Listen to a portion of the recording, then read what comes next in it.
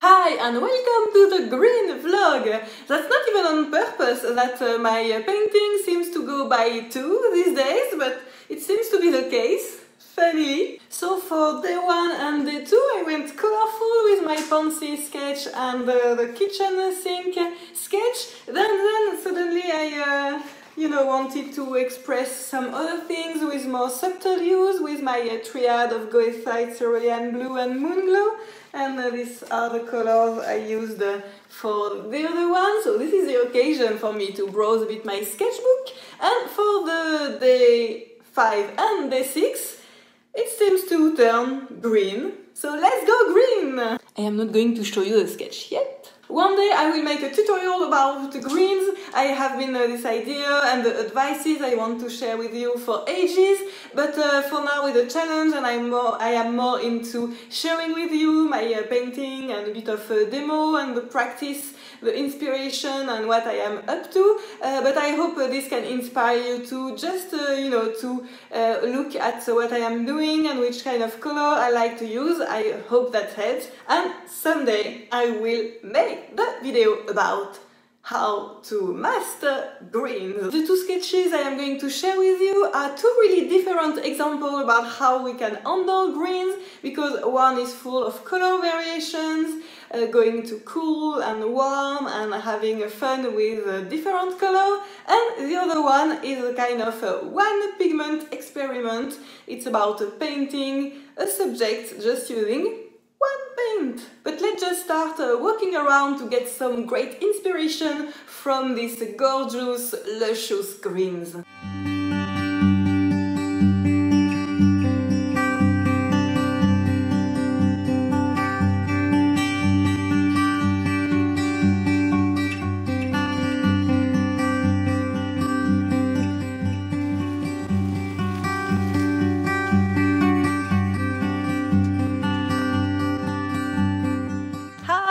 Uh, walking time and painting time. So let's uh, walk around to the tous les deux, I was uh, about to say. Let's walk around together, tous les deux, together. That uh, sounds a bit uh, same. Tous les deux means uh, all, both of us, you know, both of us together. Let's walk around uh, together and see what uh, we are going to find as a sketch for our day 5 of the 30 by 30 direct watercolor 2018 painting marathon, of course. This is the smallest frog I ever seen. It's maybe the size of my nail. I don't want to scare it, but I just wanted to show it to you. And now I saw a rabbit, but I don't know if it was, uh, if it's uh, still here. I am making a walk in the woods and uh, you know to relax a bit uh, from the video edit and uh, try to catch a bit of uh, nature and it's a bit more chilly than I was expecting but I am going to try to paint a bit uh, nevertheless. I like the wood atmosphere in here with the ferns. Ferns are so difficult to paint. Should I try again? These ferns are so beautiful, I am tempted to try to paint them. I know that uh, this kind of subject can be really a nightmare, especially when you try to draw them. So I think maybe with paint, you're trying to stay really in an evocation. Uh, I could try again. It may be a mess, uh, but uh, let's try and figure out.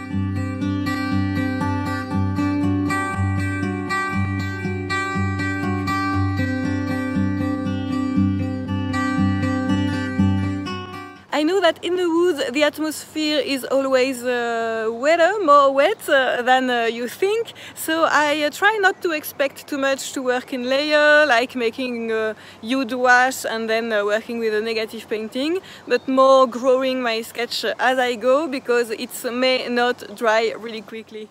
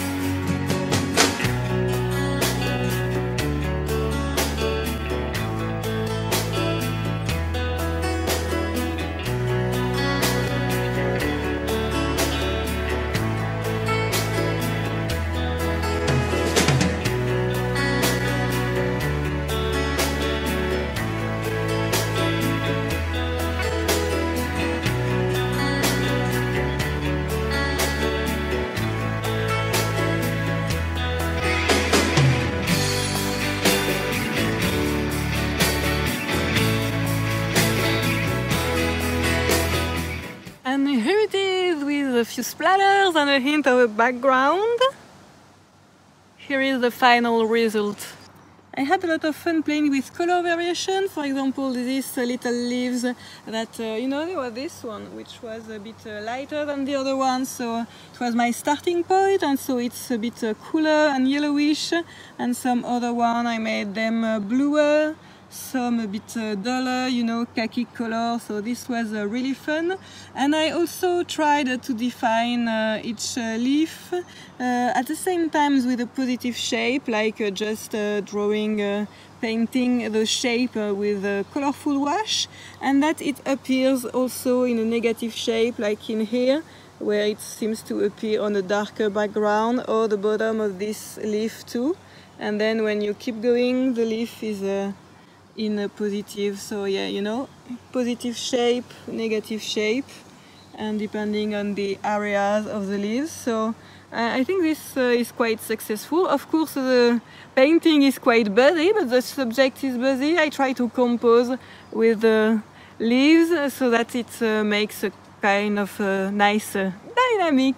I am so happy I painted Fern and I am happy with them so that's a nice achievement for me.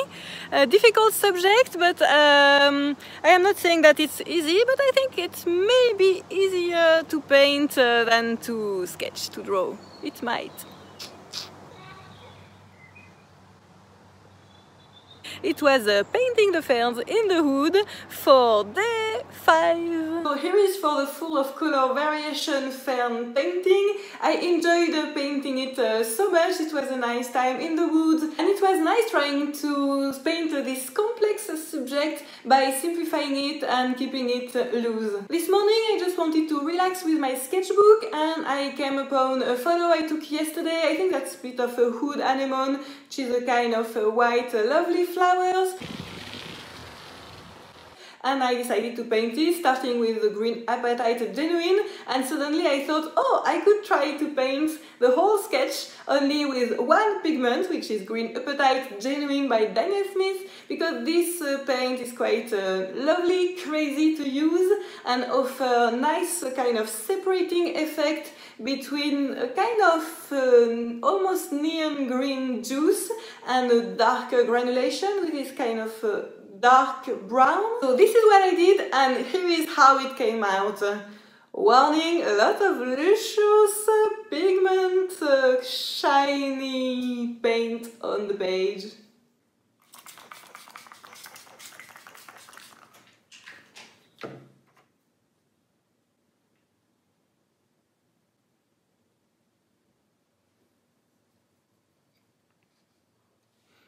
Negative painting power with these lovely white flowers. How can I do otherwise?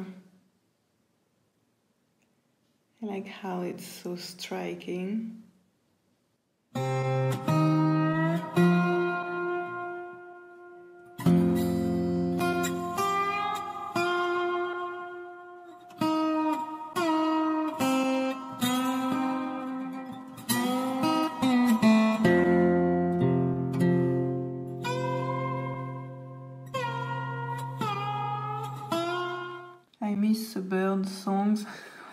painted at home. So this is pure green apatite genuine.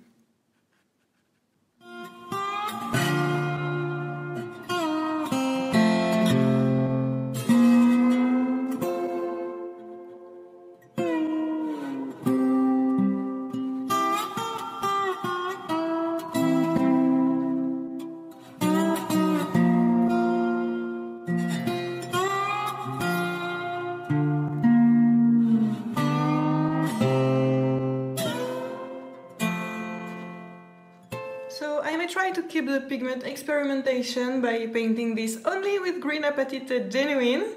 For now that's what I am doing and look all these variations of color, this kind of uh, really bright uh, bit of uh, neon green almost and kind of sort of uh, dirty brownish uh, blackish granulation. Just so fun and so enjoyable to use. So I'm going to paint the third flower now.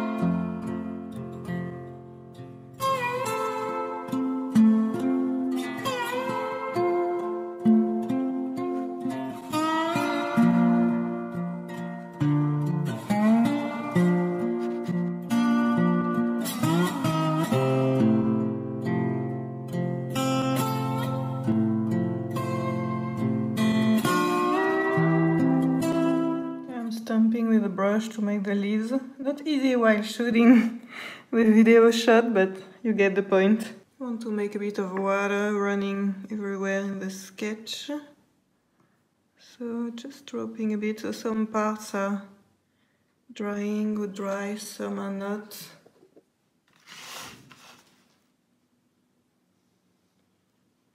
So the water is not going to invade the white area, white areas, but only moving pigment in the painted area. Look at that!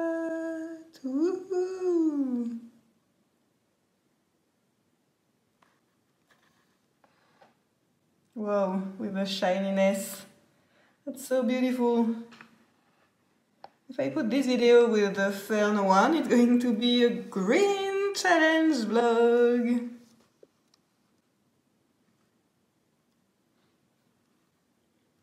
So once again, that's only one pigment, the Green Apatite Genuine by Daniel Smith. If you're interested to check it, it's in my uh, watercolor kit I am working on, but that's one of the first color I put in it because it's uh, one of my favorites. Now I am dropping a bit of pigment to make it run in the sketch. Eh, run too much, yeah. But look at this dynamic. Look at this gorgeousness. Can tell really the sedimentary identity of the pigment and when you make it running, you can see, you know, yeah, it's a sediment on the paper and create a bit of magic. Next time I should try this one pigment experiment with Moonglow. The result would be really different, but uh, really interesting too. Yeah, that's a fun challenge. Maybe we could create a challenge and a hashtag for the one pigment experiment. It could be quite fun.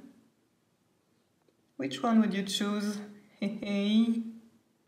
It's quite bold once again, but I like that this pigment allow me to, at the same time, I have a really strong darks and at the same time having bright color. So this is just uh, perfect for this.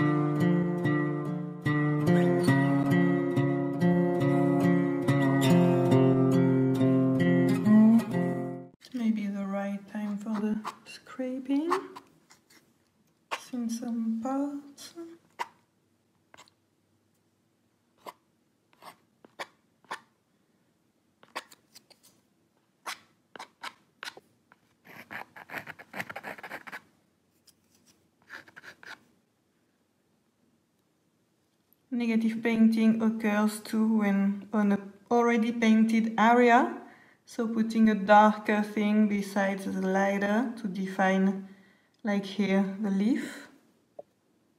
Has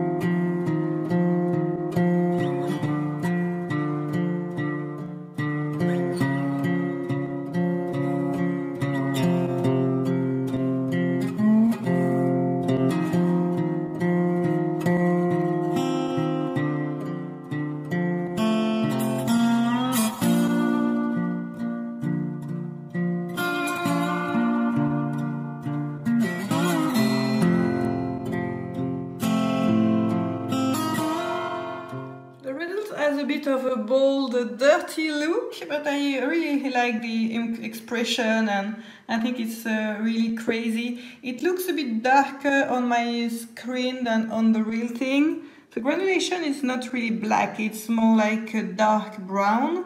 I will try to edit uh, the shot so that you may try to see it a bit how it is. I can't resist to make a few other close-ups. Look at this. It's really wild. So I played with some scraping marks and then brush strokes along with negative painting and using the separating character of uh, the paint.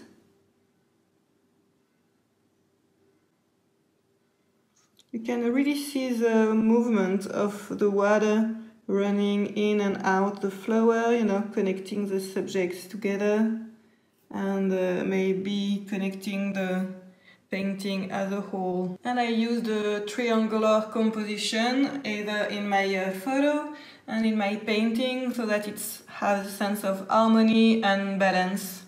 Maybe that's a bit too regular, I could have, uh, you know, made uh, different uh, distances between the flowers, but uh, whatever. There are other white uh, teeny bits of things that uh, spice it up a bit. Oh, but we couldn't uh, call this a finish without a few Green Apatite genuine splatters. I'm going to try to make a big watery splashy one. Yay! So for this you need more water and you need to have a, you know, stronger movement, bolder.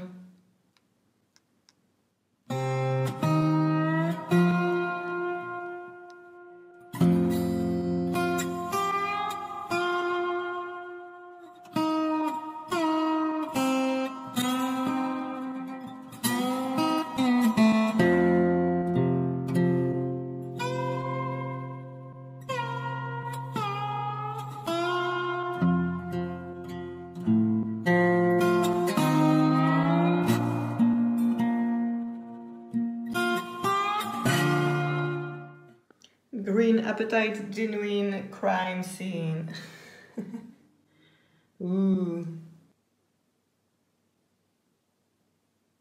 So yeah, why not uh, making a challenge in the challenge and trying this kind of uh, hashtag one pigment experiment thing. It would be nice to see what you end up uh, with using, like me, only one paint can be whatever paint you like. I would recommend though that you would use a dark enough paint because with uh, your only one paint you want to be able of course to make some light washes by diluting it but you also want to be able to get some uh, strong darks by using it uh, quite thick so a tube pigment is recommended and a dark enough color if you can. Of course, the tricky thing is you can't really use complementary color, warm and cool. You can't uh, add you know, a bit of a complementary to have it darker or, or to make it more interesting. So it's uh, end up uh, obviously monochromatic, but that's uh, really interesting to try to make, especially if you use as a fun pigment as the one I used. So I keep working on the watercolor paint uh, kit, so feel free to check it uh, to